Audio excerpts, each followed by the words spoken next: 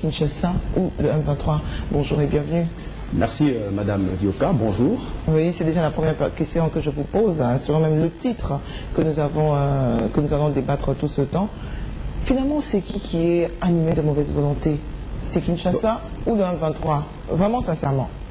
Sincèrement parlant, laissez-moi d'abord commencer par euh, propositionner un petit peu le débat dans, dans son vrai cadre.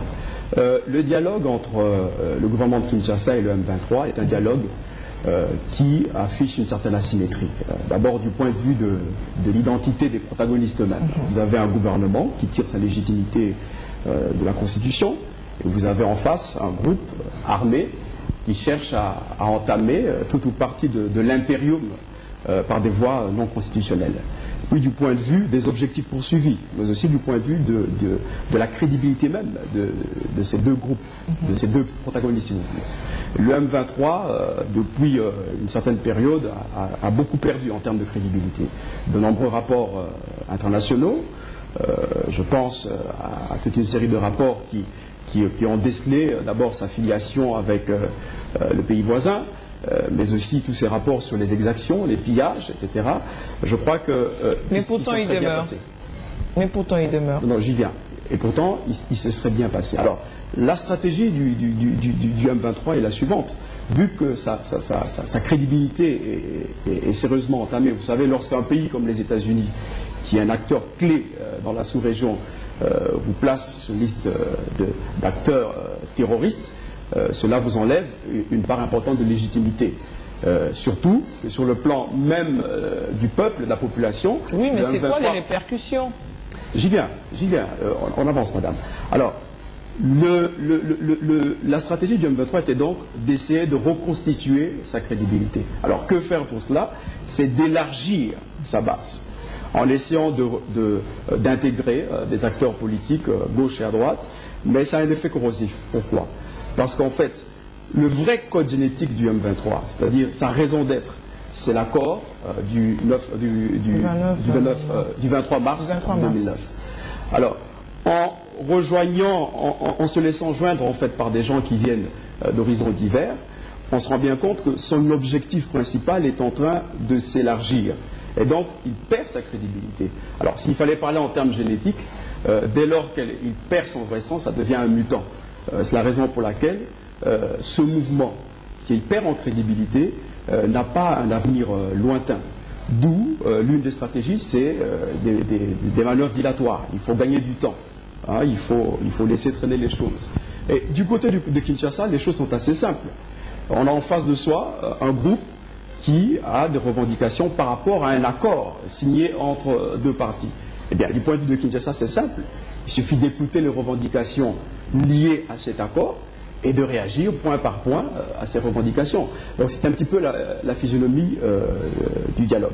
Alors, je précise aussi que le M23 tire un peu, euh, non pas de sa raison d'être, mais de, sa force, dans un contexte euh, sous-régional euh, particulier.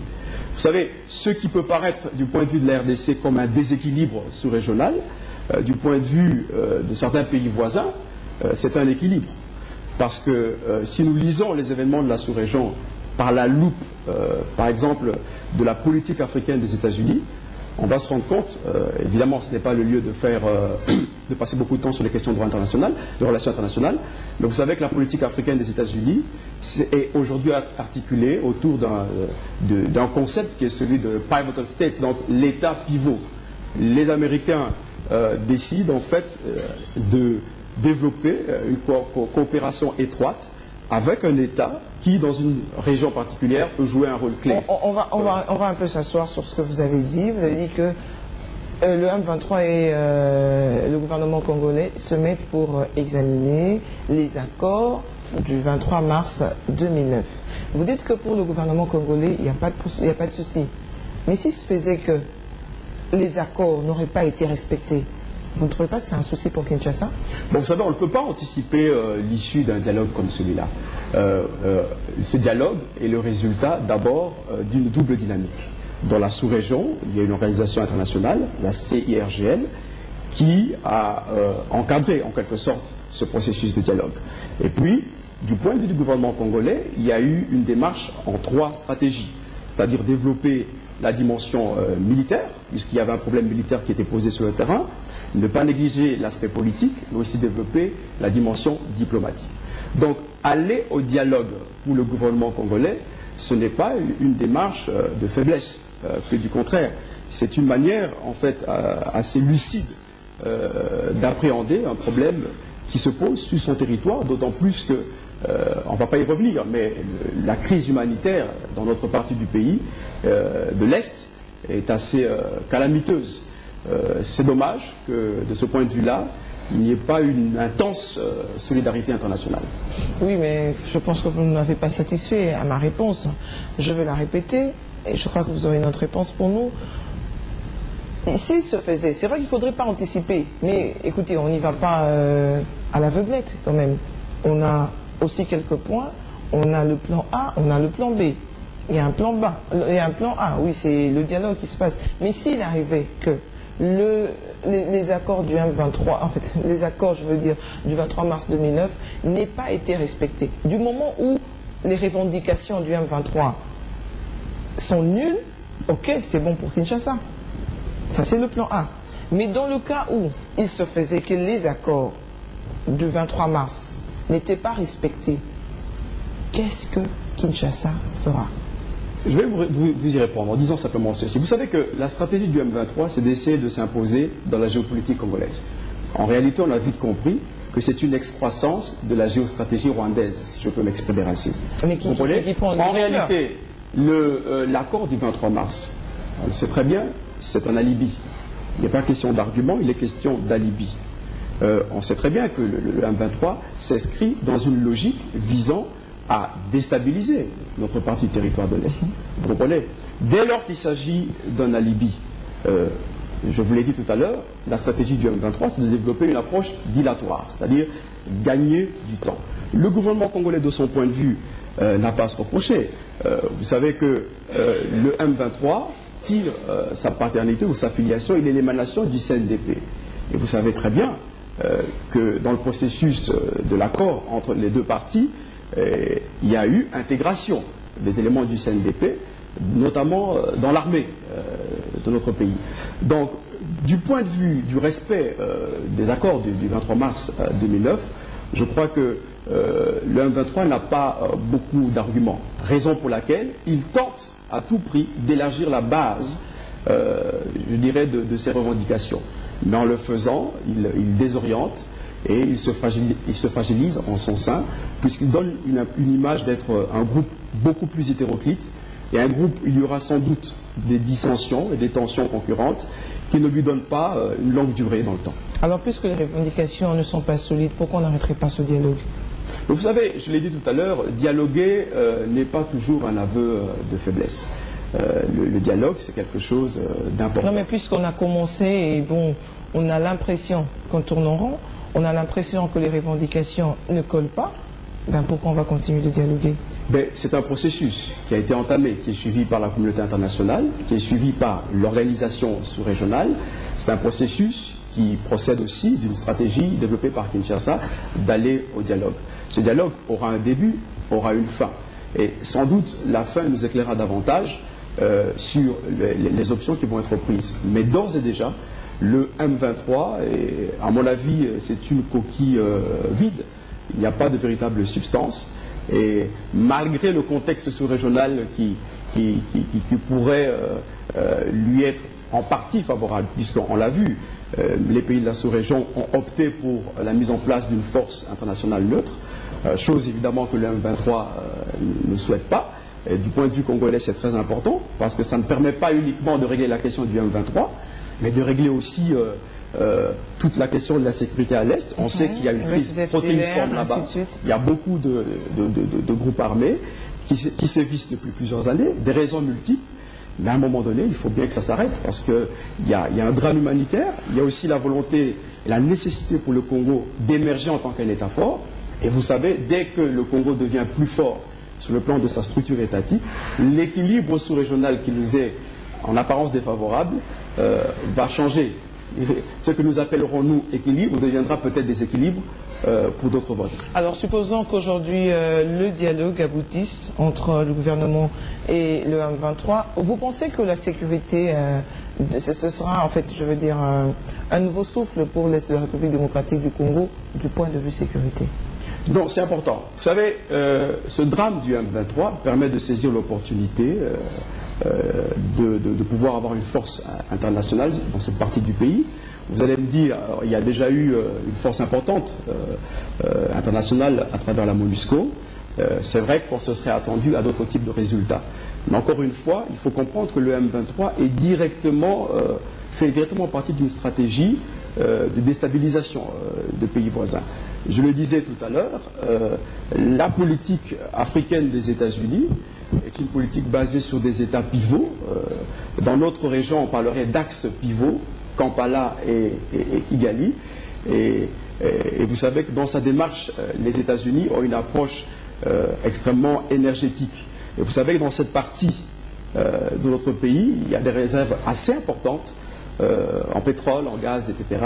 Donc, très naturellement, le, le Rwanda, par exemple, qui jouit d'un statut d'État pivot dans la sous-région, euh, préférait garder ce statut. Et l'une des stratégies consiste évidemment à affaiblir le voisin.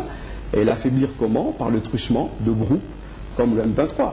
Je n'irai pas jusqu'à dire que le M23 est un épiphénomène, mais il faut savoir que si le M23 n'existait pas, euh, dans la logique des dynamiques actuelles, il aurait sans doute été créé. Alors que pensez-vous euh, de toutes ces accusations que la communauté internationale, les États-Unis très particulièrement, ont, euh, fus- ont lancé euh, sur le front du M23 sans pour autant qu'on ait des résultats sur le terrain vous savez, en, Terroristes, nanani, nanana. Mais qu'est-ce que ça change décidément? Vous savez, en relations internationales, euh, en diplomatie, tout geste compte. Chaque geste a son poids. Condamnation Et- sur condamnation et- pendant autant de mois? Et, et vous savez, euh, dans ce domaine-là, la photo n'est pas toujours instantanée. Il faut approcher les choses de manière dynamique.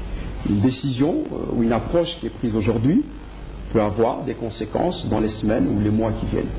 Euh, Lorsqu'on est un groupe terroriste, euh, un groupe, euh, je veux dire, armé comme le M23, et qu'on a des ambitions telles qu'ils les ont affichées, il est très important d'avoir une base arrière, on le sait, elle existe. Il est important d'avoir la légitimité populaire. On sait aujourd'hui que le, le M23 ne jouit pas de la légitimité populaire. Il est aussi important d'avoir une crédibilité sur le plan international. Parce qu'il faut exister, c'est important. Mais on sait parfaitement bien que de ce point de vue-là, euh, dès lors que sa crédibilité est entamée, euh, l'avenir du M23 est un avenir flou, d'où euh, si stratégie il y a de son, point de vue, c'est d'essayer en fait d'étendre sa véritable revendication. Donc on quitte les accords du, du 23 mars 2009 pour s'étendre sur d'autres questions de légitimité du pouvoir du régime en place, etc. L'objectif étant d'élargir sa base. Mais je pense que non seulement le peuple congolais, mais aussi euh, bon nombre d'observateurs euh, ne sont pas dupes à ce jeu et que euh, sans doute cette fois-ci ils ne vont peut-être pas obtenir le résultat qu'ils espèrent obtenir. Vous pensez donc que, que ce dialogue aboutira certainement à une bonne conclusion? Mais du Par point rapport de- à Kinshasa, bien sûr. Du, du point de vue de Kinshasa, moi je crois que la dynamique de ce dialogue est une bonne chose. Moi je suis surtout euh, attentif sur euh, la mise en place de cette force internationale. Euh, je sais qu'il y a des éléments des pays de la SADC intégrés à la MONUSCO. Alors il y a, il y a un débat sur l'autonomie réelle de, de ces forces. Mais enfin, c'est un pas important.